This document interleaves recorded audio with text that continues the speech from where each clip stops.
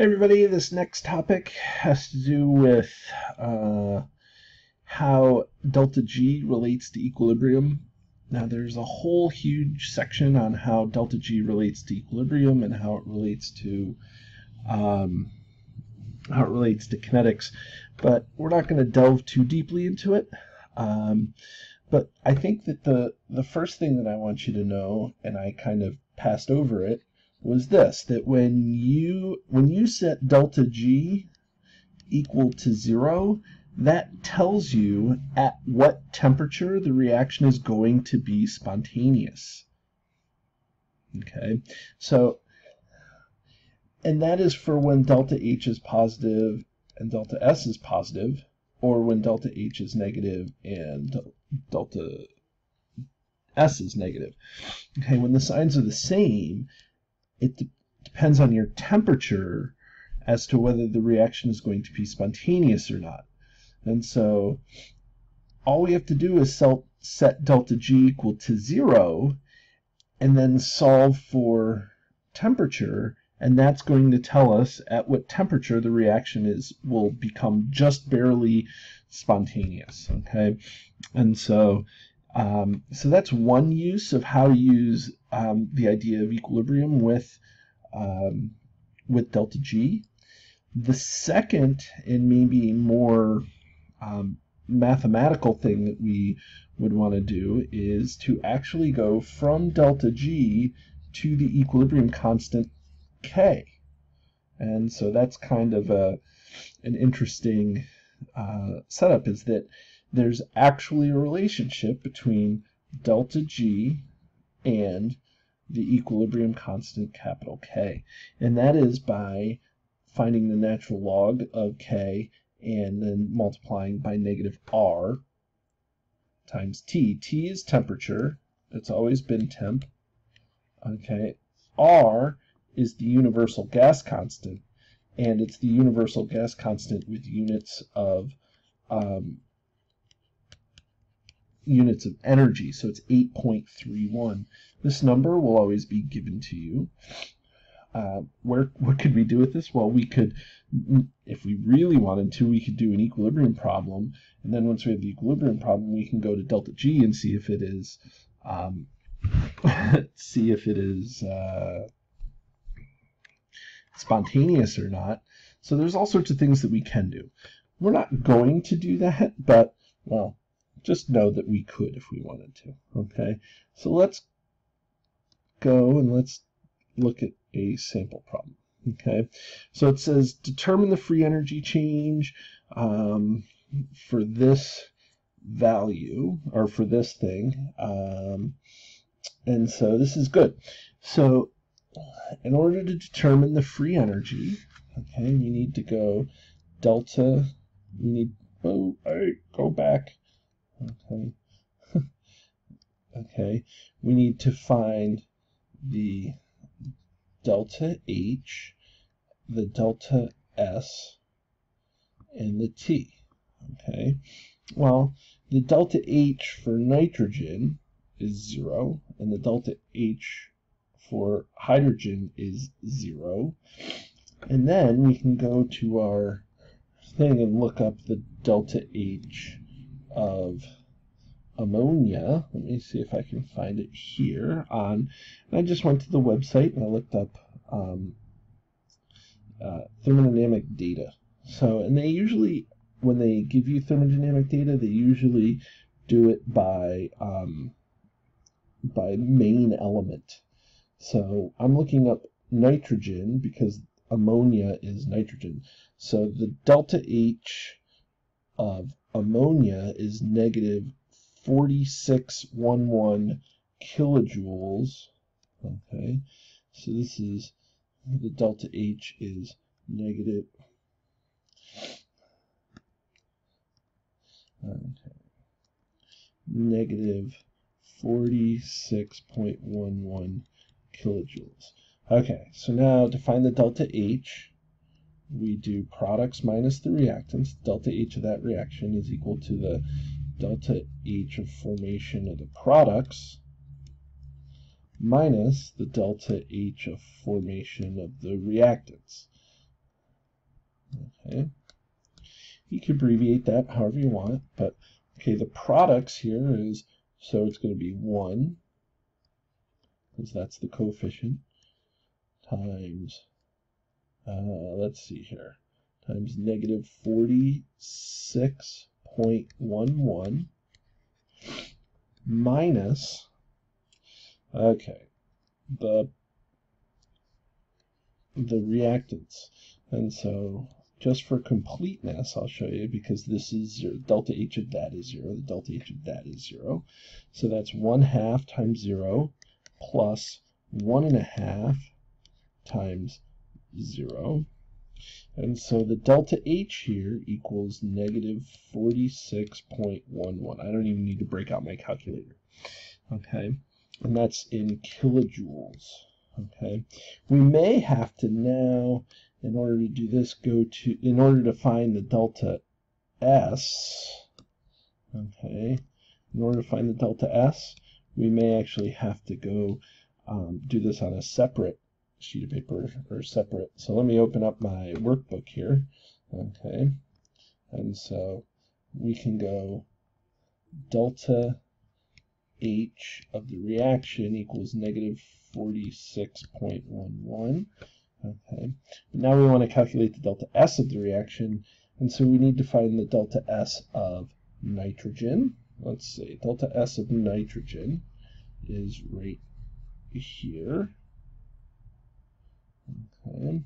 So here's nitrogen, so it's 90, uh, 191.5.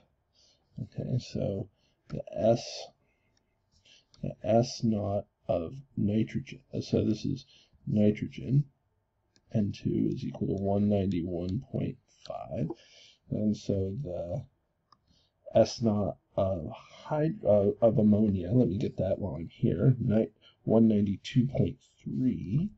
So that's NH3 is 192.3. And now we're going to go to uh, hydrogen. So hydrogen gas, H2, let's see, H gas, H2 gas, so 130.6. So that H H2 gas is 130.6.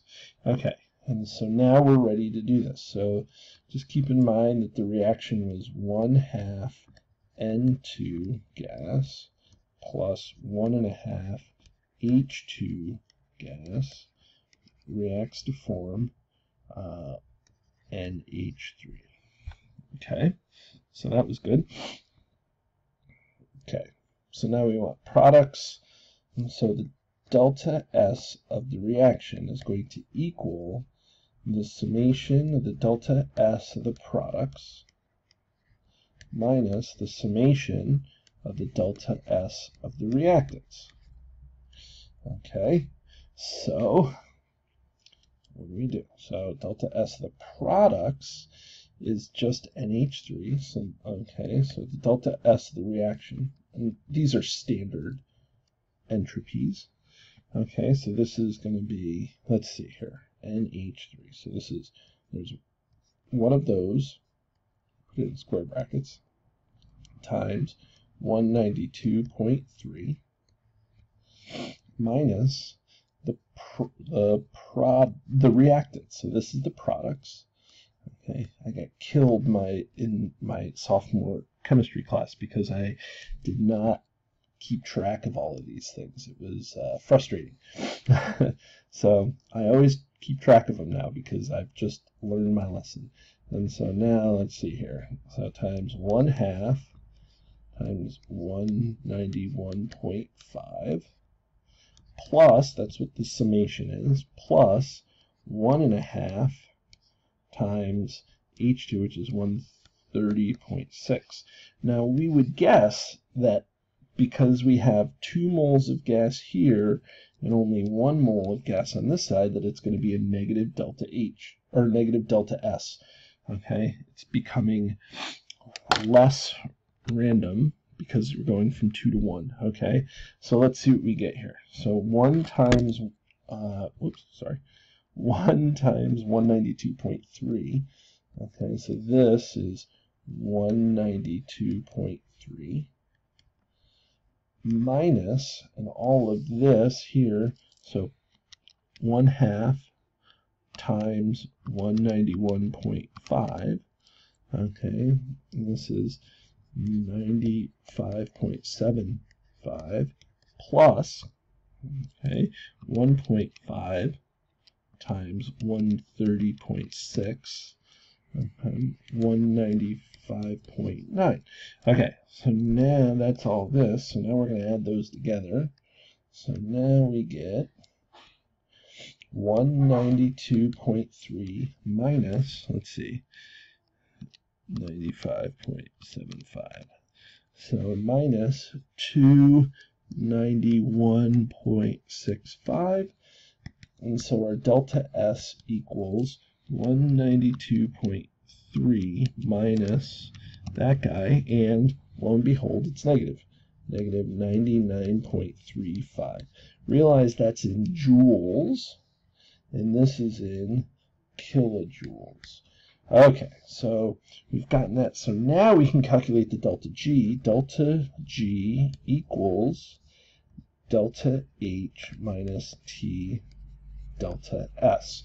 Okay, so let's see if we can make a little prediction before we do this. So this is exothermic, so that's favored, but this is this reaction is becoming less random, so it's not favored. So the signs are the same, so we don't know exactly what's going to happen.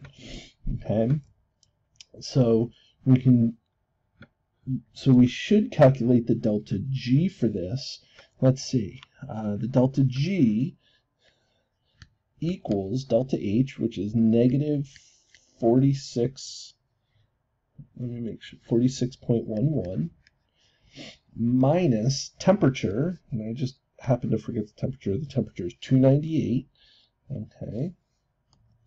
So we go to 298 times the delta S. Now remember, this is in joules. We want to convert, anytime we use this formula, we want to convert it to kilojoules. So we're going to move the decimal over. So this is going to be negative 0.09935. Okay. And so now the delta G here is, okay, so let's do this. 298 times negative 0.09935. Okay, this is, so this, this half of the equation is negative 29.6063, and this this just stays the same. So this is negative 46.11 minus that. So negative 46.11 minus a negative 29.6063. And then when we get that, we get our delta G equals negative 16 point, let's just say that. And so now that we've calculated the delta G, we can go ahead and calculate the equilibrium constant. The equilibrium constant is related to delta G using the formula delta G equals negative RT ln K. Now notice here, this is negative, so this is spontaneous. Okay, so let's do this. So now, here's the other thing that we have to realize that R is in 8.31 joules per mole Kelvin, and this is in kilojoules. So now we have to make sure that our units work even better together. So this has to be back in joules, one, two, three. So this is negative 16,500 joules equals negative 8.31. That's a constant that I would have to give you times R or times T, which is the same temperature, 298, to the ln of K. Okay, capital K. Okay, so we're going to take negative 16,500 We're going to divide that by negative 8.31. Okay, then we're going to divide that by 298. And so we get that 6.66 equals the ln of k. So now to get rid of the ln, we're going to do e to the, and then that's e. So that's the inverse, that's lowercase e, the inverse of, um, of natural log. So that's going to be e to the 6.66. Okay, and I'm rounding, and that's okay. And so now my answer is, let's see, so my answer is 780. Okay, so that's 780. K equals 780.